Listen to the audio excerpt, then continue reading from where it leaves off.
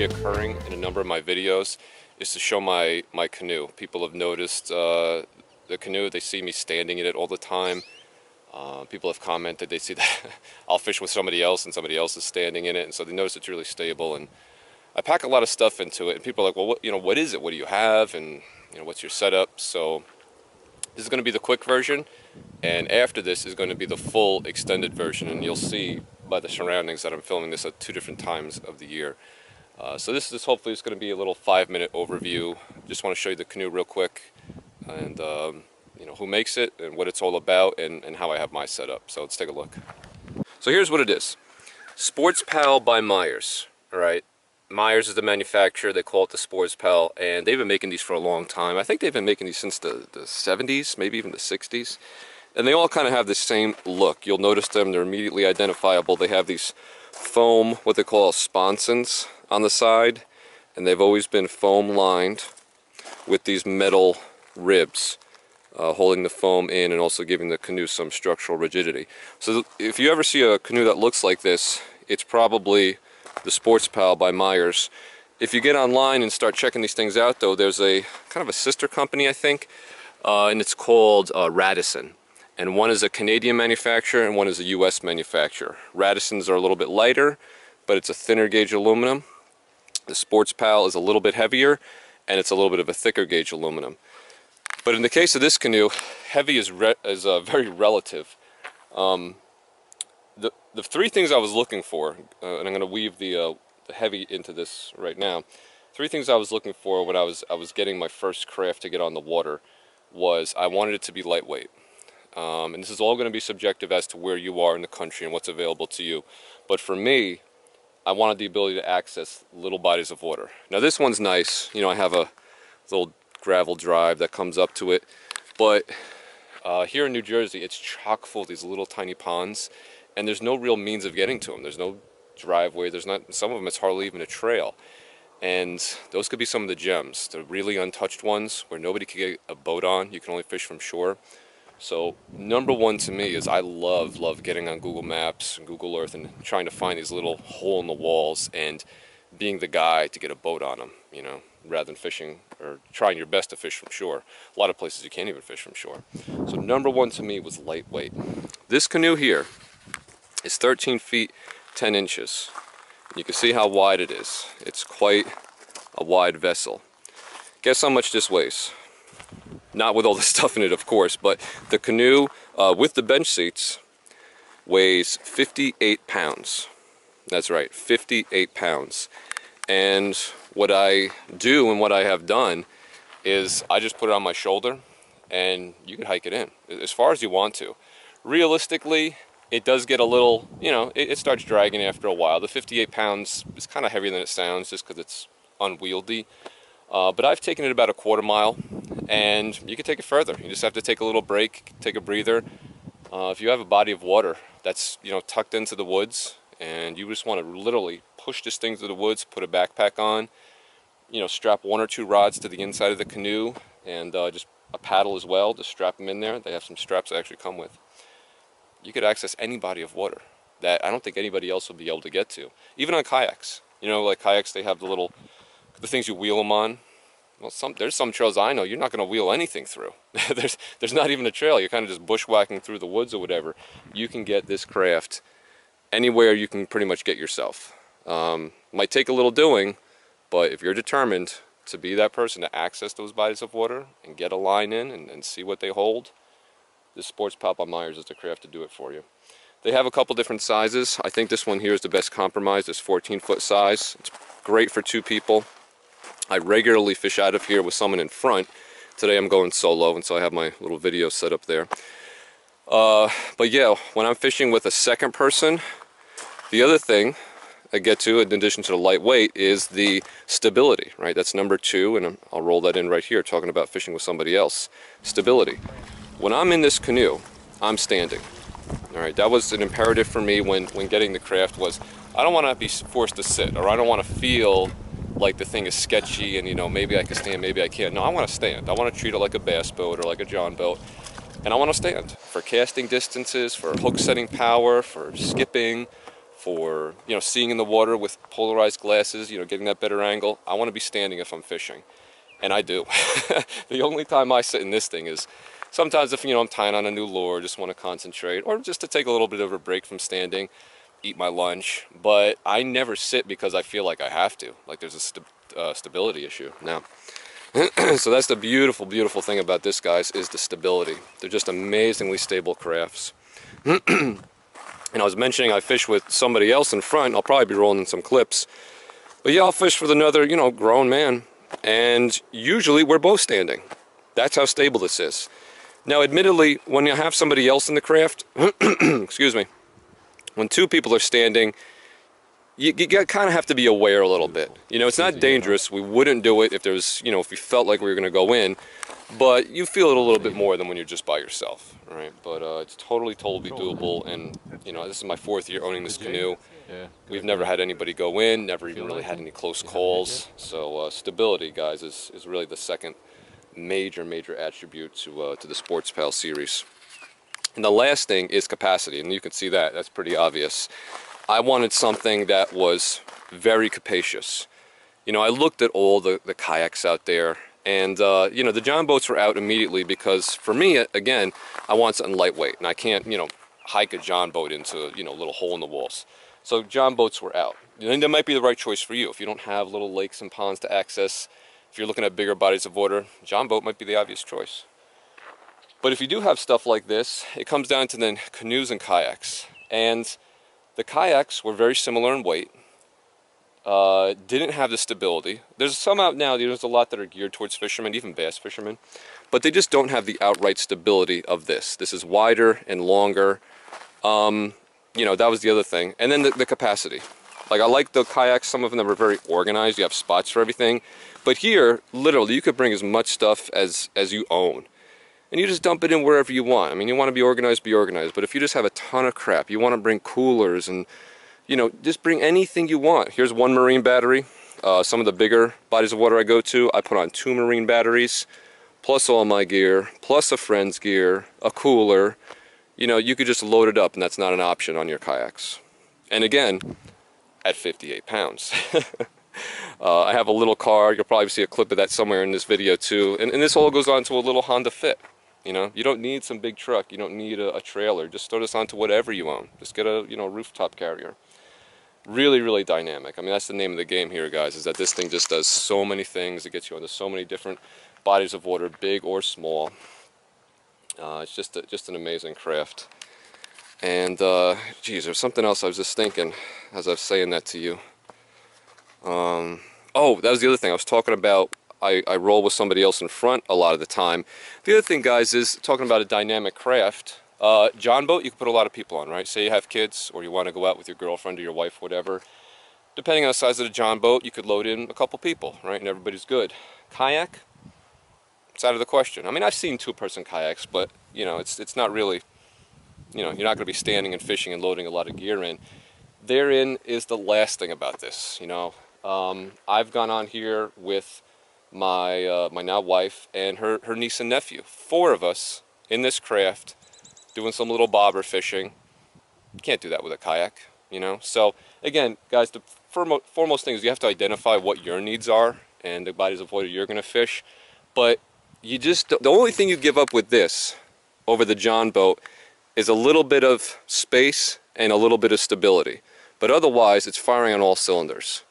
Has the capacity, has the lightweight, and um, has the stability again, at 58 pounds, hiking into wherever you want. So, that's pretty much it, guys. And let's give you the once over here. As I was just talking about, holds quite a bit of stuff. Four people, or 615 pounds. You can put a two horse on here. When you buy it, it does come with this trolling motor mount, right? You have to just screw it on, but it, it comes with it. Everything's pre-drilled. You just screw it into place. And that's what I use. I got a Minn Kota 34 pound thrust here. Looking to get a little bit of a bigger one next year. Um, comes with the bench seats. As you can see, everything is foam lined, and that makes it really, really quiet. So when you're stepping on this, or if you drop something, it doesn't have that booming, echoing sound that you would get on a metal bottom floor of like a John boat, or even like the plastic of a uh, of a kayak. So this is very, very quiet. And you can just see how much stuff it holds. I'm bringing, I think, six rods today. That's a big tackle bag. That holds seven uh, 3700 size Plano boxes. There's my book bag.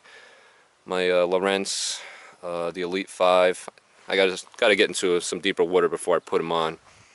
It's just the way this mount here is. I can't do it from shore. Uh, yeah, well you could see. You can see what I got here. I got my tripod set up. These ribs are cool because you could tie things down to them. So that gives me all the support I need here. I've been rocking uh, a tripod now for four years, doing that system there. And it is rock, rock solid. Has never budged a half an inch. It's perfect. And I throw the uh, battery up there just for a little bit of balance. Got to represent my friends at Tackle Warehouse. Always find the newest and coolest stuff there. And that's pretty much it, guys. Sportspal by Meyers. You're just not going to get a more dynamic craft for this. Price on these guys is uh, it's about a thousand dollars all in, and again that comes with the trolling motor bracket, two bench seats. It comes with the two oars. Oars are nice. They even have the uh, branding on them, as you can see there, Sportspal branding. Um, comes with two life vests and uh, I think that's pretty much it. I mean, other things, of course, are just pre-stalled. Like you have the, the handles here on the front. You have the the other handle, and you have the uh, to kind of like the anchor or the rope tie down, or if you're uh, you know tying it to a dock. Um, I don't think I mentioned these guys here. These just give you an additional level of stability. Um, if you really, really got it weighed down, you got a lot of stuff going on in it when the water hits this, you just have that much more foam to help you, uh, you know, balance out. Uh, I have never, like I said, I've never had even a close call on this thing. And I've tried. When I first got it, I really rocked back and forth. I wanted to test the limits of this thing. You know, warm water, shallow situation. You know, if I went in, you know, no problem, just take a little swim. You can, you, I tried. I tried to lean into this thing. I was like, I'm going to, trying to tip it, right? Trying to see what the limits are before you really start taking it out for, for real fishing. Can't do it you, you, you can't tip it, not unless you're like maybe 300 pounds and you know pulling on the side or something. But in normal fishing, can you fall out? Sure. You know that depends on your agility and your balance, stability. Can can someone fall out? You can fall out of a john boat. I mean, you know, but uh, can you tip this thing? Can't tip it. you just can't tip it. Um, but in terms of stability, again, it is really really stable. By yourself, it, it fishes you know, it's just, I never think about my balance when I'm fishing by myself. I never think. I just fish. That's not a concern of mine. I'm not thinking like I'm correcting or, you know, doing something. I, I just fish. I just worry about what I'm, I'm doing on the water. When I fish with a second person up front, then because you're both kind of always correcting a little bit, then you will feel it and you're a little bit aware of it, but it's not dangerous, right? It doesn't, if it was, we would never do it but you just have an awareness that yeah you, you feel the thing moving a little bit and you're kind of you know kind of correcting a little bit all right um, I definitely went over five minutes but I really wanted to harp on this. Like I said a lot of people have asked me about it. This thing is just amazing. This, this is I love this thing. I just love every time I take it out. It's just so satisfying. It's, just, firing on all all those cylinders of a craft I wanted. You know and I know I'm not alone in this. I know there's a, you know, this is not a weird thing to have a craft that you could access those little bodies of water, to have something that's light and easy to manage, to have something that's stable and holds a lot. I, I think a lot of people are, looking for, you know, uh, for that criteria, and, and this is it. As far as, uh, you know, the thing is people sleep on canoes. I don't know, we're in like the time of kayaks, like it's all bass fishing kayaks and kayak this, kayak that. Guys, seriously, take a look at, not all canoes, you know, not all canoes. This one here, this manufacturer is building this, and I really believe that this is the answer for a lot of you who maybe don't have anything yet. If you're fishing from shore, you want to get a little something, this is it. This is it. Put it on your little, like I said, I got a little economy car. I got a little Honda Fit. I've been toting this thing around for four years on top of a Honda Fit, and I go out 25, 30 times a year, at least. Um, yeah, just get yourself a good roof rack, super stable. You know, I'm always an hour away from where I, wherever I drive. Uh, I guess that would maybe is the other concern, like stability on the car. I've got so many trips on this thing.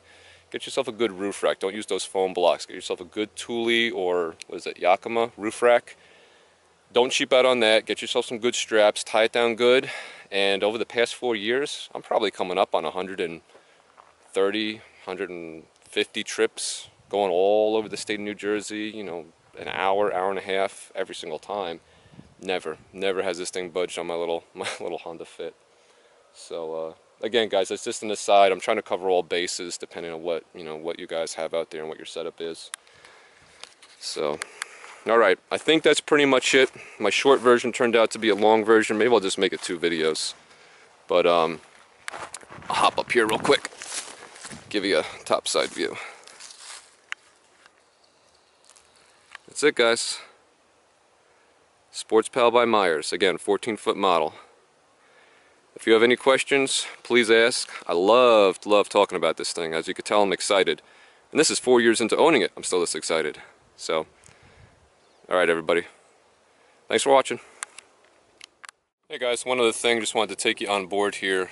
Um, just show you uh, out on the water what I got going on here.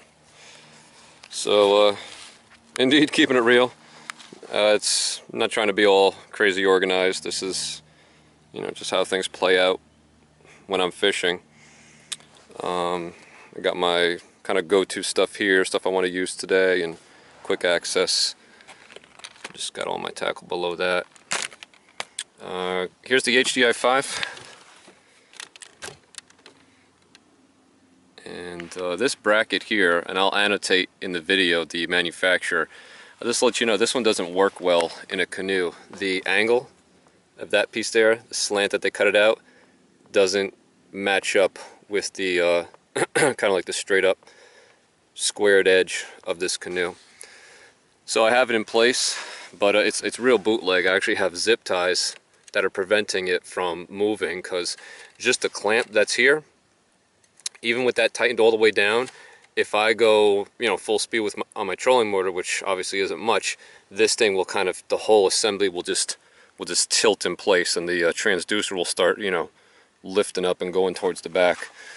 so I love the fish finder. It's really, um, it's really cool.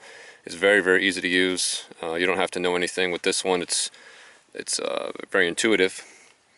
But uh, just a heads up there, guys. This mount, um, it just isn't so great, and it's it's like one of the only ones out there that's marketed towards a canoe. But gets the job done. But I'm definitely looking to make something myself. Uh, apart from that, I don't know. you just see it's uh, if you didn't have a lot of stuff, you could actually just probably lay down in here uh, underneath these things. There's been times where I really want to take a nap, just get out here on the water, it's nice and calm. But uh, I do bring a lot of stuff. Uh, tripods up there, have a quick, you can't see it because it's on the camera right now, but at the bottom of it is a quick detach mechanism. You know, so I'm not screwing it on and off all the time. I can grab it real quick to, uh, you know, take a picture and just snap it back on. Got some cup holders. Uh, oh, this is one cool thing I'd like to mention. Because the foam is everywhere, and like just you can make anything an impromptu lure holder. And I always just put some things that I've used, and just to get them out of the way and keep them clean, I'll throw things on the side like that. You can put, you know, anywhere you want. It's just foam. In terms of space, you can see me standing here. Um, you know, you don't have to go crazy like standing out to the sides. You know, just stand whatever, turn around. You know. um, you, you, like I said, you could rock it, but it's not a big deal. Trolling motor mounts there. Um, you know, don't get it confused, guys. It doesn't have the space of a, of a true boat, bass boat, or even John boat. But in terms of rods, you can see what I do here. I think I got one, two, three, four, five. I got six with me today. And uh, I'll lay some going back like this. That keeps them out of the way. They just kind of stay there. Oh, there's more uh, good capacity underneath here. I got another tackle bag and other stuff underneath that section. And uh, yeah, and then the other rods, you just lay wherever. So that's pretty much it, guys. I'm going to uh, pull up my anchor now and uh, just hit another spot and maybe I'll take you along with me. You could just see, uh, maybe speed-wise, what the uh, 34 pound does for, uh, for a canoe of this size. There's my anchor. Just want to show you guys this too. It's a it's this shape, which I found to be the best. I used to have one of those ones that was like the hook. It was only like a pound or two, and it like the hooks popped out, but if you're in a rocky area, like with big kind of boulder type rocks, you're going to lose that thing. I lost a few of them. Uh, this is just one of these rounded off ones, and this is eight pounds. And I've never had it drag me. Once, as long as you're in something where it can, you know, nudge in a little bit, that's it. You really don't need more than eight pounds. If you want to step it up to 10, I guess you could, but I've never seen the need for it. And there we go. Again, this is a 34 pound. This is a Cabela's model. Usually they jump from I think 30 to 30, 30 to 36 or 40, I forget. But uh, yeah, it's a five speed. It's not the Endura Max. But uh, you know, you cover water pretty well with it.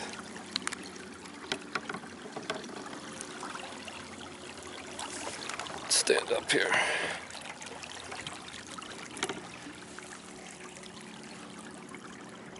We were just coming from over there already.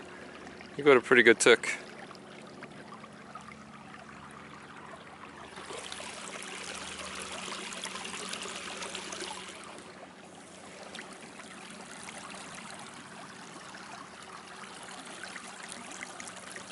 Okay, yeah, I just wanted to show you guys the trolling motor. 34 really is fine, but like I said, I was gonna, I'm going to get a bigger one. Um, I think 40 would probably be the optimal size, and not actually for covering water like this, but for getting out of um, when I'm in dense weeds. My friend has a 45, and that really just chops right through, uh, you know, with good intensity. Whereas this 34 tends to hang up a lot, and I have to go back and forth. So uh, between the 30 to the 40, they use a different uh, the main assembly on the bottom, uh, where the armature is, it's a much larger one, and it just generates a whole lot more torque. So if you were to get this canoe or uh, you know something similar to it, I think 40 is a, is a good pound rating to get you where you need to go, as well as to have the torque to move you through some of the thick stuff. So we are all the way over there just when I started this two minutes ago. There we are. All right, guys.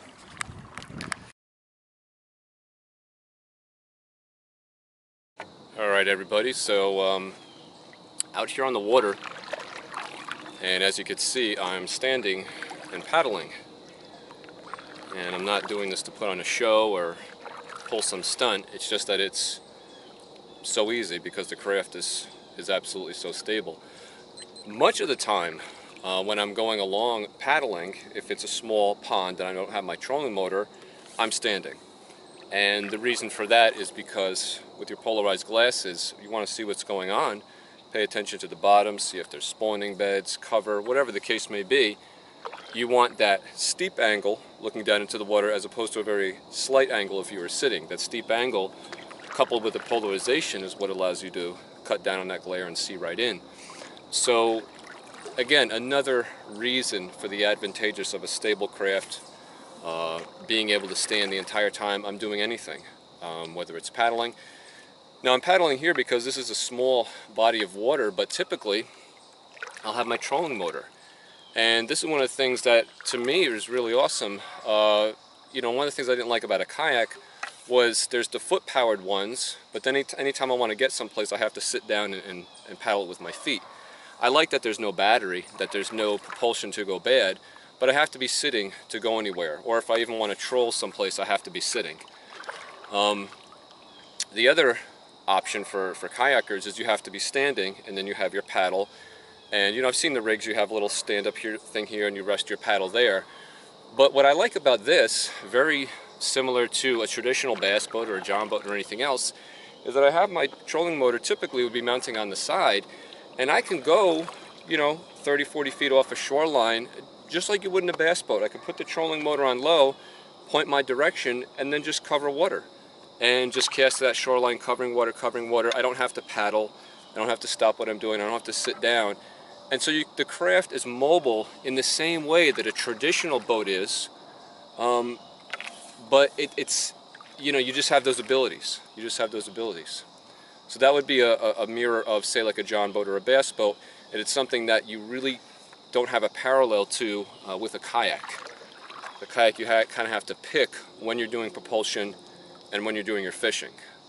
Uh, again, unless you're doing one of the seated ones, but then you're seated, you're not standing.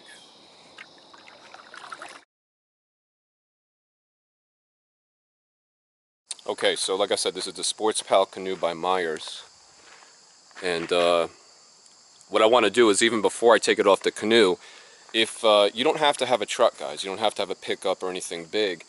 I had this, uh, as you can see, it's a very small car. It's a Honda Fit. And I bought this knowing how much I was going to fish. And I want to get the most boat knowing I was going to be utilizing a small car. I, didn't, I don't have a truck and I don't see myself getting a truck uh, anytime in the near future. So trailering was not an option, uh, backing anything into the water. So if you have a small little economy car, you can absolutely do it. And not just put something on, not get something on the water, but you can get a really, um, you know, it's a great solution. So let me show you how this uh, setup works here. Um, one of the things I would really recommend is if you ever go into like a sporting goods store or whatever, you'll see the foam blocks. They often sell just an expensive kind of 30 or 40 dollar foam block set. And uh, I would I would really really stress to you guys to make the investment and to get a roof rack. Uh, this is a Thule Aero rack, and um, the Aero just means that it's kind of streamlined, but it, the, the, stability here is second to none. Uh, I've had this canoe, I think I'm going on four years, and I have over a hundred trips on it. I had to kind of do the math, but I have over 100 trips. And every place I go to is like over about an hour and over an hour from me. It's all on highways. So this thing is always at, you know, 60, 65 miles an hour. And you don't want, you don't even want in the back of your head to have the idea this is going to come off. So I would really, really recommend you guys, if you're going to do a small craft, this or whatever else, a kayak, don't use the blocks. Sooner or later, that's going to catch up to you. Uh, I had that originally, and they were very scary and very sketchy. Thule rack. These things here from Thule are called uh, load stops. Okay, and these aren't made for a canoe. They do have a canoe uh, rack or a canoe kind of attachment here, but I find these to be very, very effective. Uh, and so basically, as you can see, I have my straps going along the surface there. Those go underneath the bar. I pass them underneath so that compresses the whole canoe uh, against the bar here. The load stops are compressing it from the sides, you know, from here and then from the other side, they're compressing it in this direction. And then front to back, which is where your wind would kind of want to get up underneath, you have these uh, ratcheting uh, tie downs. This is actually part of the Thule kit. And with those pieces in place, this is extremely stable. Uh, I have like I said, over 100 trips on it and, uh, you know, at highway speed, so it's no problem.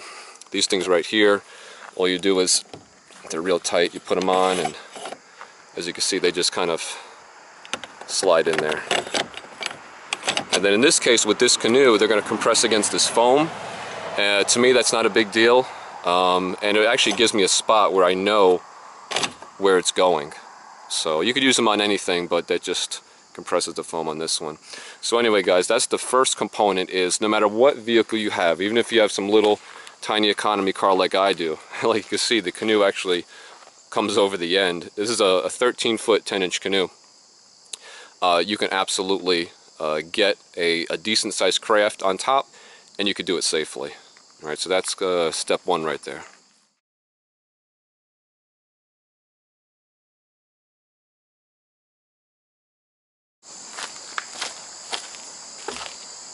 Okay, uh, another important thing and something I want to share with you guys, whether you're someone who's uh, you're a younger guy, or that doesn't really matter, you could be big as a younger guy, but say you're of slight build. Um, I don't want to say even a, a woman, but I, I, do believe that a lot of uh, uh, women could handle this canoe, getting it on and off. Um, if you're maybe somebody a little bit older and you just don't have the, the, strength. What I want to show you and what was imperative to me is also the lightweight uh, and the maneuverability and the uh, the ability to take it on and off easily. Take these guys off. Now my technique is, having done it a little bit, and you can figure it out very quickly, there's a balance point like with any canoe. Um, the fit is of medium height, uh, my particular vehicle, so what I do, and, and you'll just see, is I'm going to back it off. Back here, And then the inside, because it's all foam lined, I'm actually just going to rest it on top of my head for a second and then back it up and put it onto my shoulder. Um, and because of the weight of the canoe at only 58 pounds, it's, it's not a lot of weight on your head and the foam makes it soft. It, it maybe seems a little unconventional, but it's, it's very easy and almost intuitive to do when you're taking it off a vehicle.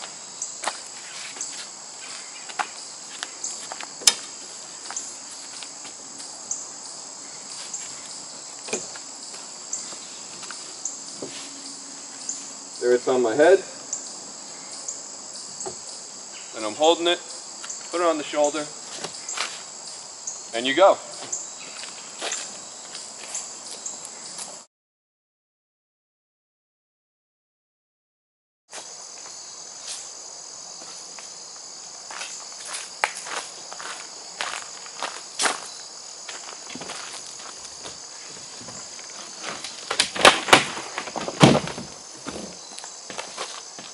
Demonstrate here is basically just what I did. Uh, just, I want to uh, leave no stone unturned is, is putting it down. As you see, you just, it's, it's just not hard because of, again, that lightweight. And then, uh, so, you know, here we'll simulate coming out of the water. You're all done. You've taken out your gear. Uh, how do you pick it up? Again, if you have two people, they have the handles on the front and rear. You could do it that way. But honestly, if I have someone with me, it's, it's almost more awkward to have that handle and to have it bumping into me. I usually just pick it up and throw it on my shoulder. And as you can see, um, I'm, I'm fit, but I'm not big. I'm six foot, about 160 pounds. So uh, I think it's something that really most people can do. Let me just show you how to pick it up. What I do is I just take it, I'm going to kind of roll it over almost, you know, onto my foot. Just by grabbing these handles here. And then that's it. I just kind of squat down, get underneath it, and put it on my shoulder. That's it. You got that balance. And there you go. Walking along.